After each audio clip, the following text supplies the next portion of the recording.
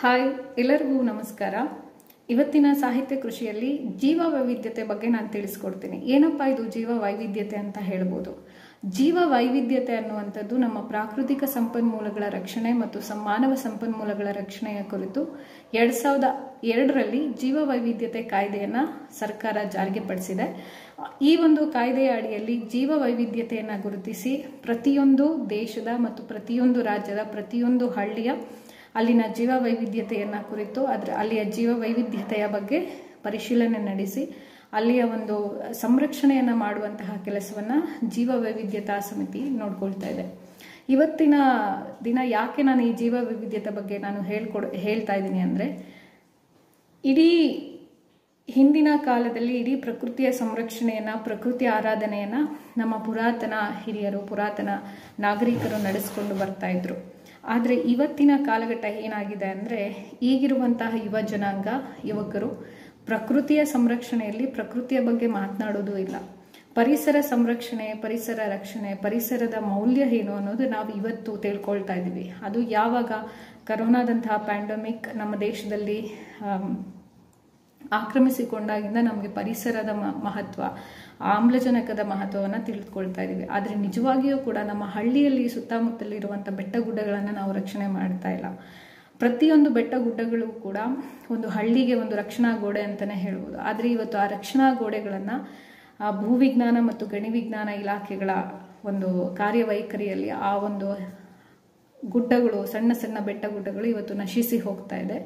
ಅಕ್ರಮ ಕಲ್ಲು ಗಣಿಗಾರಿಕೆ ಅಕ್ರಮವಾದ ಗಣಿಗಾರಿಕೆಯನ್ನು ಮಾಡೋದ್ರ ಮೂಲಕ ಆ, ಪ್ರಕೃತಿಯ ಸಂಪನ್ಮೂಲಗಳನ್ನು, ಪ್ರಾಕೃತಿಕ ಸಂಪನ್ಮೂಲವನ್ನು ದೋಚಲಾಗ್ತಿದೆ. ಇದೇ ಮಾನವ ಜನಾಂಗಕ್ಕೆ ರಕ್ಷಣೆಯನ್ನು ನೀಡುವಂತಹ ಬೆಟ್ಟ ಗುಡ್ಡಗಳು ಯಾವ ರೀತಿ ರಕ್ಷಣೆ ನೀಡುತ್ತವೆ ಅನ್ನೋದ್ರ ಬಗ್ಗೆ ನಾನು ನಿಮಗೆ ಸಣ್ಣ ಮಾಹಿತಿಯನ್ನು ನೀಡ್ತೀನಿ.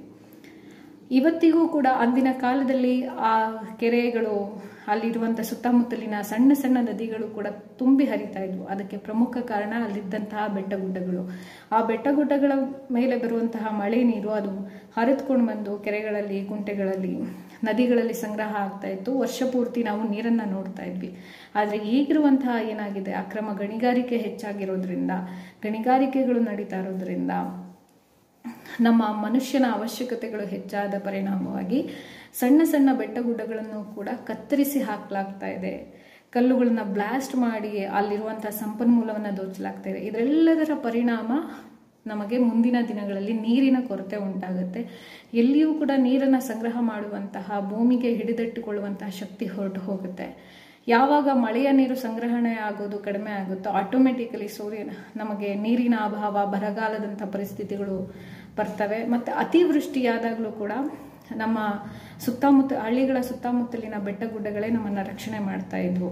ಆದರೆ ಇವತ್ತಿನ ಪರಿಸ್ಥಿತಿಯಲ್ಲಿ ಏನಾಗಿದೆ? ಅತಿ ಹೆಚ್ಚು ನಮ್ಮಲ್ಲಿ ಅತಿವೃಷ್ಟಿಗೆ ಒಳಗಾದಾಗ ಪ್ರವಾಹಕ್ಕೊಳಗಾದಾಗ ಯಾಕೆ ಅಷ್ಟೊಂದು ಎಫೆಕ್ಟ್ ಆಗುತ್ತೆ ಅಂದರೆ ಒಂದು ನಾವು ಮರಗಳನ್ನು ಅಲ್ಲಿ ಬೆಳೆಸ್ತಾ ಇರೋದು, ಬರಡು ಭೂಮಿಯಾಗಿ ಮಾಡ್ತಾ ಇರೋದು. ಇನ್ನೊಂದು, ಪರಿಸರಕ್ಕೆ ಒಂದು ಸಂರಕ್ಷಣಾ ಗೋಡೆ ಅಂತ ಇದ್ದಂತಹ ಬೆಟ್ಟ ಗುಡ್ಡಗಳನ್ನು ನಾಶ ಮಾಡಿರೋದು.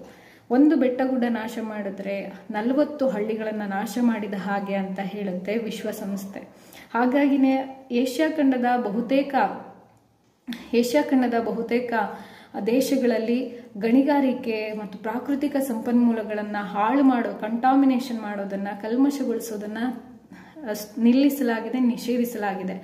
ಆ ರೀತಿ ನಿಷೇ, ಆ ರೀತಿ ಪರಿಸರ ಮಾಲಿನ್ಯ ಮಾಡುವಂತಹ ಕಂಪನಿಗಳಿಗೆ ಯಾವುದೇ ರೀತಿ ಒಂದು ಅಧಿಕಾರವನ್ನಾಗಲಿ ಅವುಗಳಿಗೆ ಲೈಸೆನ್ಸ್ ಕೂಡ ಆದೇಶಗಳಲ್ಲಿ ದೇಶಗಳಲ್ಲಿ ಕೊಡೋದಿಲ್ಲ ದುರಂತ ಅಂದರೆ ಭಾರತದಲ್ಲಿ ಅಧಿಕಾರಿಗಳು ಪರಿಸರವನ್ನು ಮಾಲಿನ್ಯ ಮಾಡೋದಕ್ಕೆ ಅಂತಲೇ ಚರ್ಮದ ಉತ್ಪಾದನೆ ಮಾಡುವ ಘಟಕಗಳಿಗೆ, ಚರ್ಮವನ್ನು ಶುದ್ಧೀಕರಣ ಮಾಡುವ ಘಟಕಗಳಿಗೆ, ನೀರಿನ ಸಂಸ್ಕರಣ ಮಾಡುವ ಘಟ ಘಟಕಗಳಿಗೆ ಮತ್ತು ಅತಿ ಹೆಚ್ಚು ಮೈನಿಂಗ್ ನಡೆಸೋದಕ್ಕೆ ಅಂತಲೇ ಎಕರೆ ಎಕರೆ ಬೆಟ್ಟಗಳನ್ನು ಕೊಡುವಂಥ ಅಧಿಕಾರವನ್ನು ಯಾರು ಸರ್ಕಾರಕ್ಕೆ ಕೊಟ್ಟಿದ್ದು ಅನ್ನುವಂತಹ ಪ್ರಶ್ನೆಯನ್ನ ಈ ಸಂದರ್ಭದಲ್ಲಿ ನಾವು ಎತ್ತಬೇಕಾಗುತ್ತೆ. ಯಾಕಂದ್ರೆ ಜೀವ ವೈವಿಧ್ಯತೆ ಅನ್ನೋದು, ಪರಿಸರ ಅನ್ನುವಂಥದ್ದು ಕೇವಲ ಒಂದು ಸರ್ಕಾರಕ್ಕೆ ಸೀಮಿತ ಅಲ್ಲ.